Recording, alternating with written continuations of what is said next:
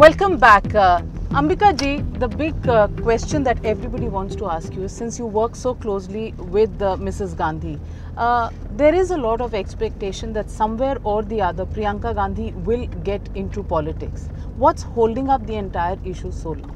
Well, I think Congress President Sonia Gandhi has answered this question on numerous occasions that her family is a democratic family. The members of her family, which means definitely Rahul and Priyanka, take their call on what they want to do themselves. There is no pushing anyone. And Priyanka today is really not only managing two parliamentary, very important, in fact, the most important parliamentary constituencies as far as I say, I think. She's also really managing, fine tuning, coordinating the entire Lok Sabha campaign. I myself have talked to her a couple of times during the course of the last uh, few weeks, where she's asking what are the issues which are going to be discussed in the constituency, especially if one of the president or the vice president are coming. Uh, in the recent past, who are the, when we were having the uh, primaries for the 16 constituencies, she was receiving the inputs and coordinating speakers, all the issues related to running a Lok Sabha campaign for 543 seats. She's doing that. I don't know how she finds. But two ministers uh, in the cabinet, uh, Shashi Tharoor and Jairam Ramesh, have both said that the president and the vice president's jobs are taken, and therefore there's no vacancy for Priyanka. Uh, is there uh, something like a vacancy that Priyanka has to wait for? No, I'm afraid I don't want to comment on our young ministers who are in the habit of making statements which hit headlines. I've, that's not been my practice, so I don't know on what basis they say that. There is no question of vacancies in a political party. In politics, you don't wait for space, you create your space. So when Priyanka wants to, she has to just discuss the people, the congressmen would like to see all of them in active politics. It helps and strengthens the Congress party. But it's a decision which they have to take at their personal level to begin with, and then one sees what happens after that. Uh, Mrs. Soni, uh, there has been 10 years of uh, UPA rule.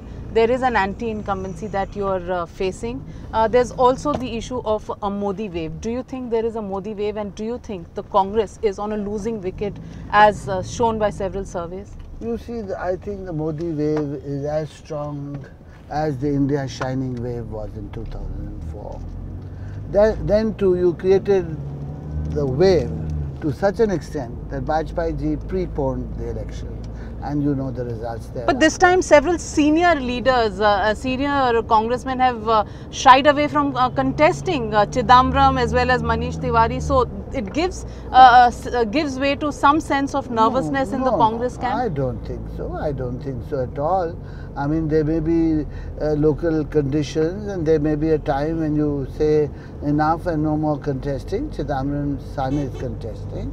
It's, he's worked at the constituency level. Maybe for personal reasons, I don't know. But two or three or four people not contesting in Lok Sabha is not something very unusual.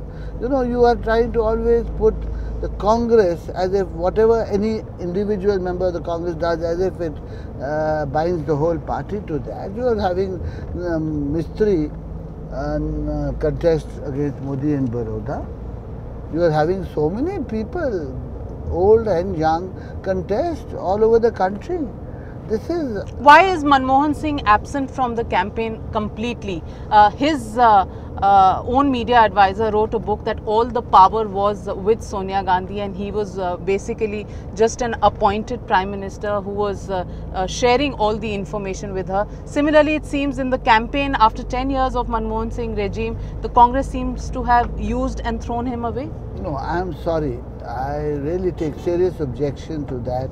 In fact, I've always spoken about the very uh, remarkable, almost to the extent of being incredible, uh, harmony, synchronization of ideas and the work between Dr. Manmohan Singh and Sonia Gandhi over the last 10 years.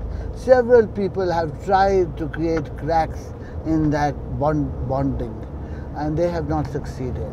As far as the book is concerned, I think I don't know from where Mr. Sanjay Baru picked up his facts because the very fact that no less a person than the daughter of Dr. Manmohan Singh, she herself has no, in such strong words condemned what has been written and I don't think anybody could have said more than what she has. That puts paid to the credibility of the book. Otherwise, some of us have also had the opportunity of working in close contact with the Congress president and earlier with Dr. Manmohan Singh. I, uh, we are not privy to this. Will the Manmohan Singh years actually help the Congress uh, to win the elections of 2014 or will the anti-incumbency hit the Congress hard? Well, the jury is still out on that one, but for now, that's all we have on the real politics.